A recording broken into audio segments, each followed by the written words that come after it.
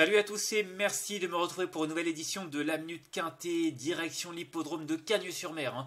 Euh, ce euh, lundi 15 janvier en compagnie euh, des galopeurs. Hein. C'est le premier quintet de la saison en plat pour les, sur l'hippodrome de Cagnes-sur-Mer. Donc on a vraiment affaire à un lot intéressant. Le prix Charles Gasto, ce sera la deuxième course du programme dans cette réunion principale, prévue à 13h55. C'est bien entendu une première épreuve de handicap divisé, des chevaux de 5 ans et au-dessus euh, qui seront aux prises sur le parcours de 1600 mètres sur la piste en sable fibré. Donc voilà, comme j'ai dit, 16 concurrents au départ, on a fait le plein de partants. Euh, c'est un lot qui n'est pas forcément très facile à déchiffrer parce qu'il y a pas mal de, chevaux qui viennent d'horizons différents. Alors certes, on a des spécialistes euh, de ce parcours, de cette piste de Cagne. Maintenant, au niveau de la forme, le retour dans cette catégorie, il y a pas mal d'incertitudes. On va essayer d'y voir clair, mais je vous le cache pas, c'est une course qui s'annonce assez compliquée à déchiffrer à mon sens. Après, on peut avoir des bonnes surprises, mais euh, c'est vrai qu'avant le coup, euh, je trouve vraiment que pour la victoire, en tout cas, c'est assez ouvert. Moi, j'ai retenu le numéro 8 en tête de ma section à Forchester, qui vient de mieux courir que nous l'indique son classement en terminant 6 d'un handicap. Auparavant, il avait remporté un autre handicap. Euh, pour moi, il a encore de la marge. On l'a vu à son avantage, hein, d'ailleurs, sur, sur cette piste. l'hiver dernier, enfin pas sur cette piste, sur l'hippodrome de Cannes-sur-Mer l'an passé, il y était venu, il avait couru deux quintés, une quatrième place et une septième place. D'ailleurs la septième place était vraiment encourageante, mais c'était sur le gazon cagnois. Maintenant, euh, ce qu'il faut noter également avec ce euh, pensionnaire d'Edouard Montfort, c'est qu'il a couru une seule fois sur ce parcours en début de carrière pour une victoire. Euh, donc l'aptitude à se tracer, il l'a, il n'y a pas de souci, tout comme il a d'ailleurs prouvé qu'il a toré les pistes en sable. il a un numéro qui est correct dans les stalles de départ. On effectue le déplacement, le retour sur l'hippodrome de Cannes-sur-Mer. Moi, j'aime beaucoup sa candidature. je pense qu'à cette valeur, il a encore de la marge et qu'il est certainement capable de remporter un tel quintet. À lui de nous le prouver maintenant. Ensuite, en deuxième position, j'ai retenu le 4 euh, Kama. Euh, Kama, c'est une jument euh, qui a peu couru l'an passé. C'est une jument qui n'a pas été revue dans cette catégorie depuis un bon moment. Hein. environ deux ans, je crois qu'elle n'a pas été revue depuis 2022. Et une victoire d'ailleurs dans la catégorie des handicaps. Alors du coup, elle est en 38,5. lors de sa dernière performance dans cette catégorie, elle était en 35,5. Donc entre, entre le, le moment où elle a couru son dernier handicap et euh, le moment où elle revient aujourd'hui, euh, enfin ce lundi dans cette catégorie, euh, il y a quand même de l'eau qui a passé sous les ponts. Elle a quand même réalisé de belles performances, notamment dans des courses à conditions. Elle a même gagné Listed Race. Elle est passée à une valeur qui était proche des, 45-46, je crois. elle est redescendue désormais en 38,5. Elle vient de faire un bon retour hein, sur une piste en sable. Je crois d'ailleurs que c'était une petite rentrée. En tout cas, on fait appel à Théo Bachelot. je pense qu'au vu de ce qu'elle a montré dans des courses à conditions durant la dernière année et demie à peu près, je la pense capable de rivaliser à cette valeur de 38,5. C'est pour ça que je la retiens aussi haut. Maintenant, c'est elle de nous prouver en piste euh, qu'elle est capable, bien entendu, euh, de réaliser une très grande performance. Ensuite, en troisième position, j'ai retenu le 11 Ivory Spring euh, qui reste sur une victoire. Hein. C'était dans un handicap fin euh, novembre, euh, sur l'hippodrome de Marseille-Vivo. c'est un cheval qui a montré de la qualité hein, par le passé, mais sa valeur est vraiment tombée bien bas. et du coup, ça lui laisse un peu plus de marge. Je pense qu'il a encore de la marge d'ailleurs depuis son succès à Marseille-Vivo. On lui a redonné un petit peu de fraîcheur. On l'a pas revu depuis environ un mois et demi, un petit peu plus. Euh, voilà, je pense euh, qu'il a des références à faire valoir et qu'à euh, à ce poids, il est censé réaliser une bonne performance, en tout cas en 35,5. Moi, je pense qu'il est même compétitif pour les premières places et c'est pour ça que je le retiens aussi haut en troisième position.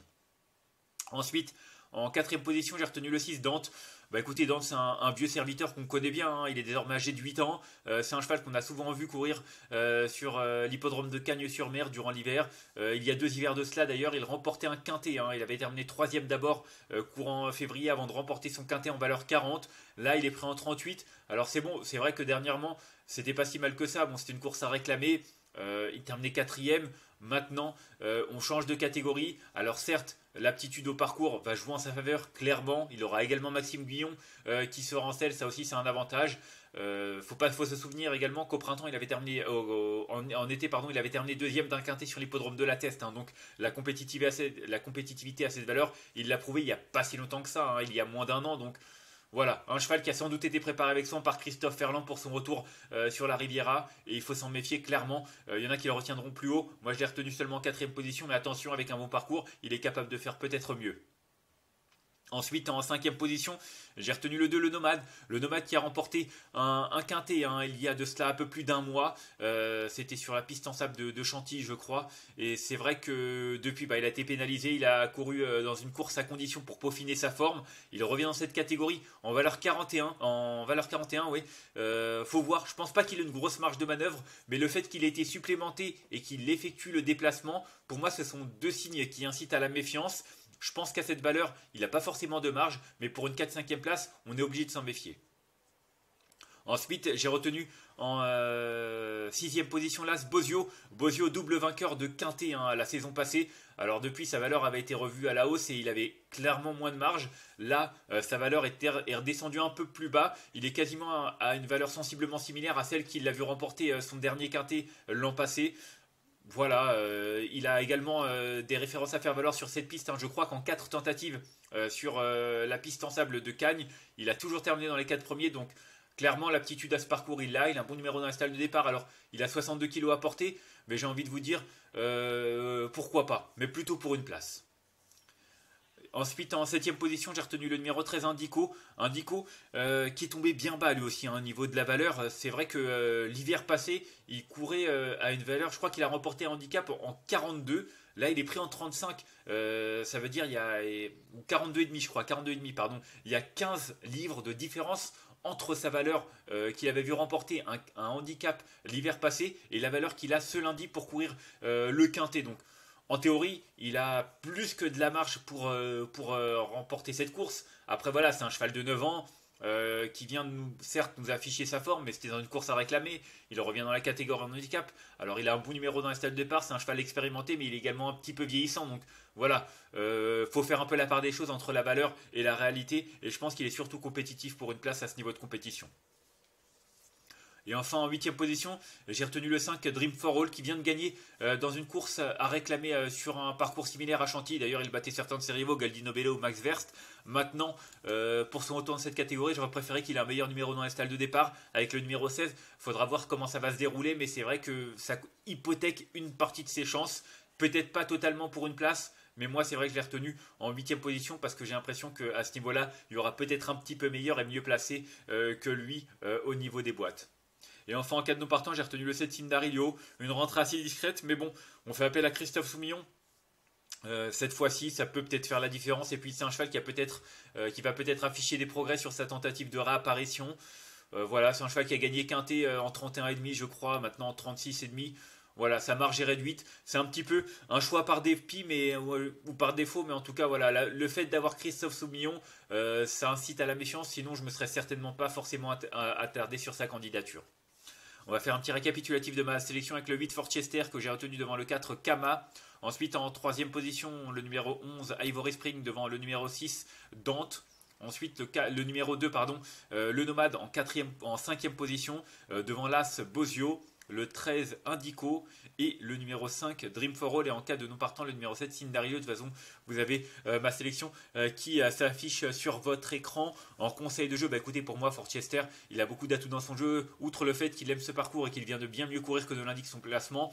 Euh, c'est un cheval qui pour moi est compétitif à cette valeur et qui est certainement capable de remporter une telle course. Ensuite, le numéro 4, Kama, modèle de régularité. Je pense vraiment euh, qu'elle est capable, pour son retour dans cette catégorie, de réaliser une performance de choix et de lutter pour les premières places. Et puis le 11, Ivory Spring, il a repris de la fraîcheur pour moi. Euh, des 4 pensionnaires de Fabrice Vermeulen, c'est certainement la meilleure chance. C'est pour ça que j'ai retenu aussi haut et que j'y crois beaucoup pour les premières places également.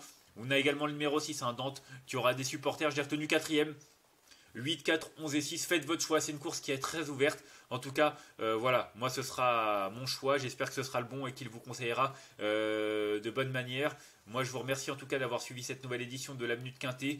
Euh, si vous avez aimé cette vidéo, n'hésitez pas à la liker, à la partager ou encore à vous abonner à notre chaîne YouTube en cochant la petite cloche pour être au courant des prochaines vidéos.